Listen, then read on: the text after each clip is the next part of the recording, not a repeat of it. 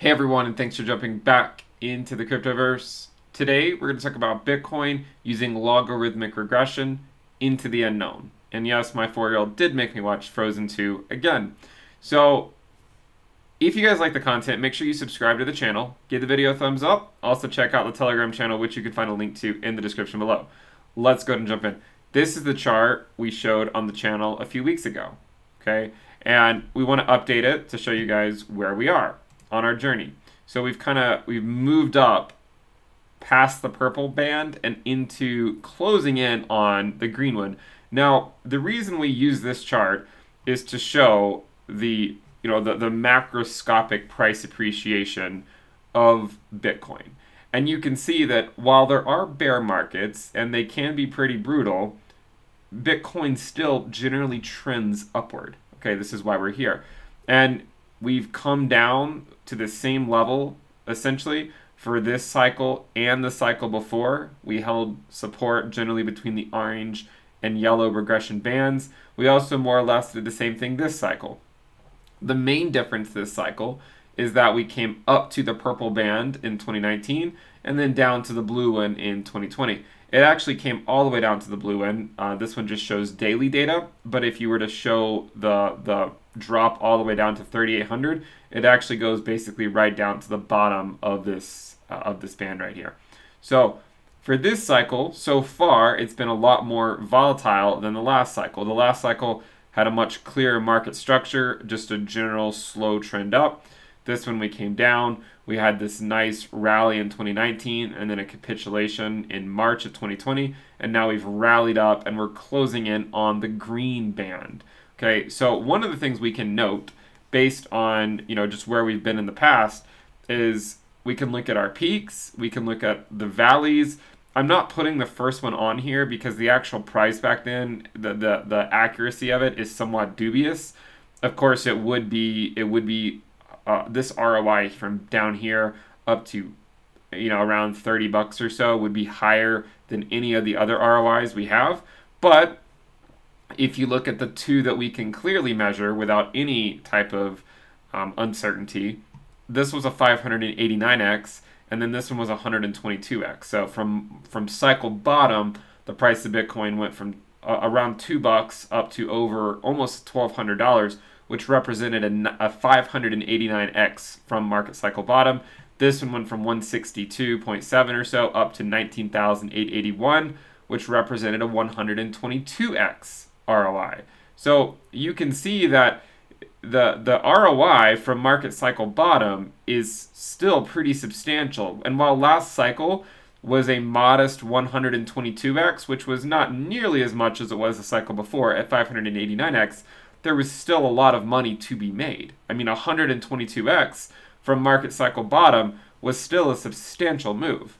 So currently, our bottom this cycle was around 3166 and so far we're we're currently at around 52k this only represents right now a 16x okay so from market cycle bottom to the current price of bitcoin we're only looking at a 16x and i do think we will trend much higher this market cycle. If i had to guess i've said many times before a lot of the math when we when we talk about you know Bitcoin, the beauty of mathematics, or we look at Bitcoin regression over each cycle. What my guess is that it'll probably peak somewhere between 100 to 200k. That's what I that's what I ultimately think is, is that's where it'll it'll ultimately peak. The reason I say that is because if we were to go up 122x from the bottom, that would put us in the $300,000 range, uh, $386,000.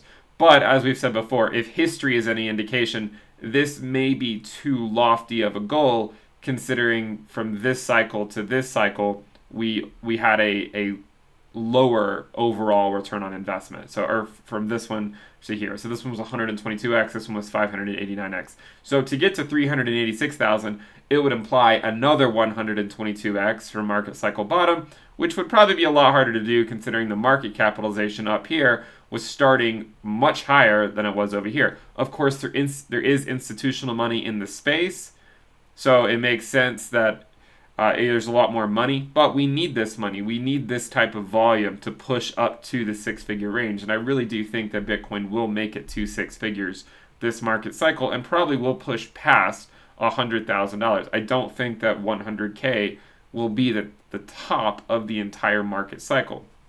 So, with that said, currently from market cycle bottom, again, the price of Bitcoin is up 16x. Okay, you might say, well, okay, this one was divided by 5 approximately, therefore maybe this one's divided by 5 and we don't have that much further to go for the duration of the entire market cycle. Uh, I don't think it's going to quite work like that. I don't think it's just going to be a divided by 5 each time. I think that it, it's not going to, to I, I still think there's a, a decent ROI available to Bitcoin over this cycle.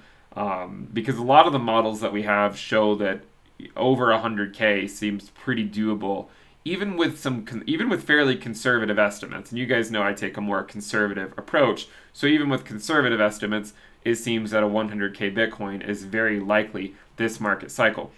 A, a 50x from the bottom would be 158,000 and something like this seems a lot more reasonable to me than say another 122x move so we'll see. I, I generally think somewhere between 100 to 200k, but we'll ultimately have to wait and see. Now, going back to this chart, one of the things we talked about before, so we'll touch on it here, is that each cycle you can see that we drop a few log lines. Okay, so the first cycle peaked at the green one, the second cycle peaked between the orange one and the yellow one, and then the third cycle peaked at the red one. So each cycle is falling down. We've said before approximately two and a half log lines, but it's possible that that could break this cycle. And in fact, one could argue that it already has broken. If you if you look closely here, say from the green one to between this point, this is about two and a half log lines down. And then from here, and I mean, it's not exact because uh, you could argue that this is even more than two and a half log lines down this first one because it went slightly over the green one, and then it's probably not even halfway here. But let's just approximate it two and a half. And then from here to here, it was also approximately two and a half. Well, to go from here down another two and a half would put us between the green and purple one, which is where we are now. But it seems like there's a very decent chance, a non-negligible chance, that we push past this historic drop of approximately two and a half log lines, which we've said is certainly possible this cycle. Now, one of the things we should say uh, that we we can, you know, that I think is important is that despite the fact that it might not be an exact number of log lines to fall, it would be somewhat very I would say it would be very difficult for us to get back to the same log line that we peaked at in late 2017. Okay? So this one peaked at this green one, then this one peaked between the orange and yellow one, then this one was between the blue and red one. Um, so far, we're between purple and green. For us, to give you an idea of how far away the current price is corresponding to the peak of this red one, we would be looking at almost a $200,000 Bitcoin today. Uh, maybe around $175,000 Bitcoin. And it's only going to get further and further away with time unless we just continue moving. I mean, if we keep moving up this quickly, then we're getting closer to it. But the point is to say that by the end of 2021, this line will be at uh, 300K. By the end of 2022, uh, it'll be at 400K. So it's going to be getting very far away very quickly. And so I would say that the red line is probably, you know, something that's not theoretically attainable. Uh, but the green line, I mean, we're already almost at it. The, the blue line here that we're showing, which we peaked above last cycle, is currently already at 100k.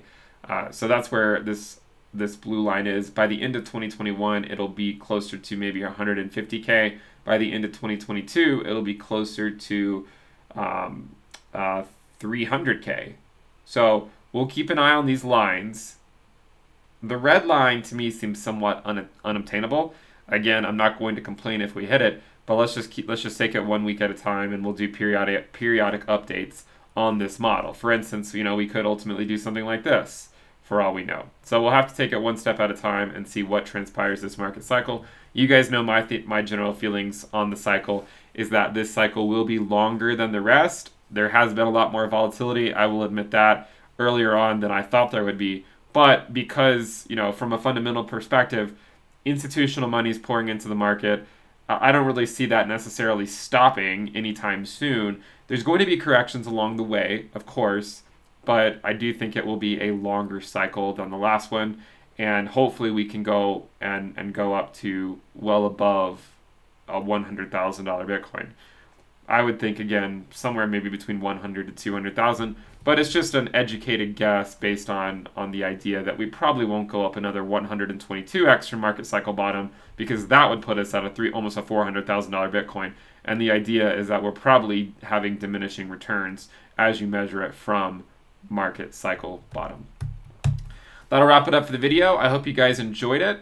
If you guys like the content, remember we have the premium list. You can check out the sale for that in the description below. You get access to the TradingView indicators, which we actually have this indicator in TradingView. You also get access to weekly reports, weekly videos, the Telegram alerts channel, the risk dashboard, and more. Make sure you guys check it out. You can lock in the lower rate as long as you don't cancel your monthly subscription. With that said, make sure you subscribe to the channel. Let's go for 125,000 subscribers. Give the video a thumbs up, turn on your alerts. I'll see you next time. Bye.